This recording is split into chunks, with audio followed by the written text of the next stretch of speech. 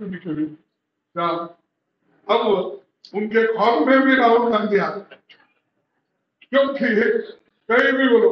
राहुल गांधी यात्रा क्यों कर रहे राहुल गांधी क्या आवश्यकता थी? अरे भारत कभी छूट गया है, कभी। अरे आपको क्या है पहले तो बोलते थे राहुल जी किनको मिलते नहीं, उनको ध्यान क्या क्या है? विलेज क्या है?